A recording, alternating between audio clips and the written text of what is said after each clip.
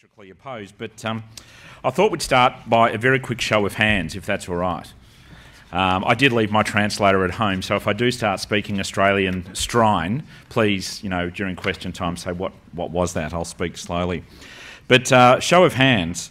Um, I wanted to ask you, when thinking about your son, or your daughter, or your grandchild, or a young person that you know, um, would you be open to the idea of a pathway that is not a university pathway? So, could I have a quick show of hands? If you're in the room,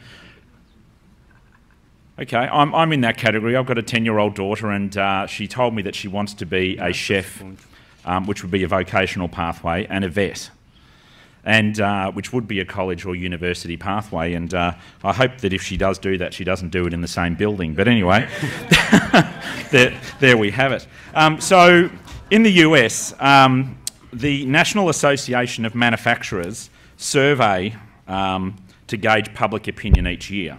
They do a lot of surveying, so people in the US would know this. 90% of respondents ranked manufacturing at the top of the list of important industries. So that's, that says a lot, doesn't it? 80% thought building a strong manufacturing base to be a top priority. And when asked at the end of the survey, the last question says, would they encourage their own children to join the manufacturing industry? And the, what do you think the answer was? It was, a, it was actually a resounding no. So I think one of the things that um, we, we are facing is there is a, um, often, and it's around the world, and I've travelled extensively, you do see this myopic focus about university or college for everyone.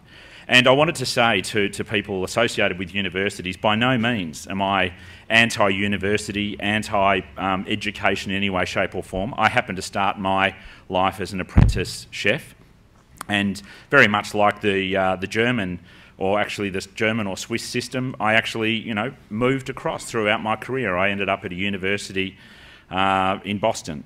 And uh, for me, it was very much about the right education at the right time.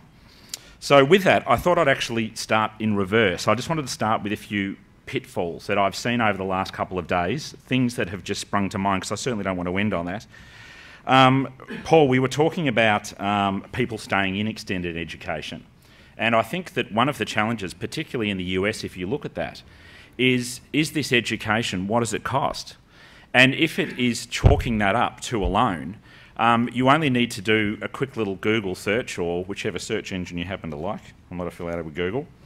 Um, you will see that in the US, um, the student loan debt has passed a trillion dollars. The average, the average student loan is $30,000. Now, people are staying in the education system so they don't have to pay that loan back.